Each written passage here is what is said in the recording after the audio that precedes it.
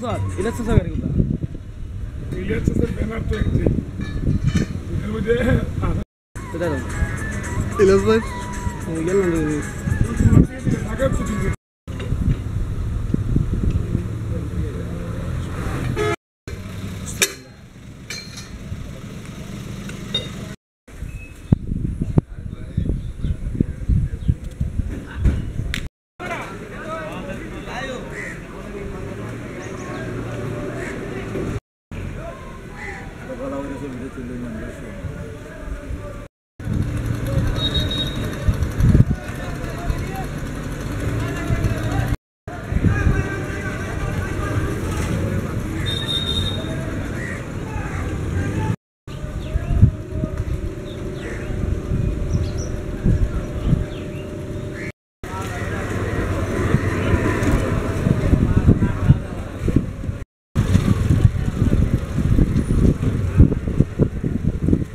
কাউন্টারের রানা নামে একজন সন্ত্রাসী।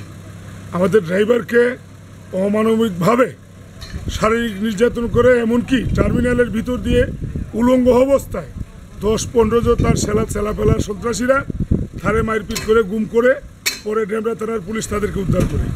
পরবর্তীতে টার্মিনালের নেতৃবৃন্দের সাথে হবিগঞ্জ জেলা শ্রমিক ইউনিয়নের নেতৃবৃন্দ কথা বলে, তাকে ঢাকা মেডিকেলে ভর্তি করে চিকিৎসা করানোর পর আমরা কালকে হবিগঞ্জ জেলা সড়ক পরিবহন শ্রমিক ইউনিয়ন এবং দিগন্ত বিদ্যুৎ বিসমিল্লা ব্যানারের মালিকদেরকে বসে আমরা সুষ্ঠু বিচার হওয়ার আগ পর্যন্ত আমরা এই ধর্মঘট হবিগঞ্জ ঢাকা গাড়ি চলাচল বন্ধ হবে এবং আজকের দিনের ভিত্তিতে যদি সমাধান না হয় আগামীকালকের থেকে ঢাকা হইতে সিলেটগামী কোনো ধরনের পরিবহন চলতে আমরা পরিবহন শ্রমিকরা দিব না।